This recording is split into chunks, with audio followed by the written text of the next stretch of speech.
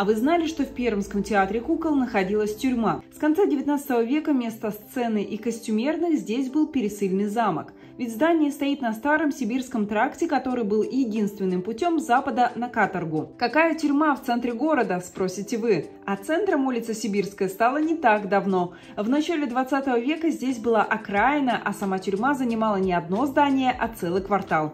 Театралы здесь появились лишь после Великой Отечественной войны. Здание перестроили, но главные ворота тюрьмы остались в том же виде.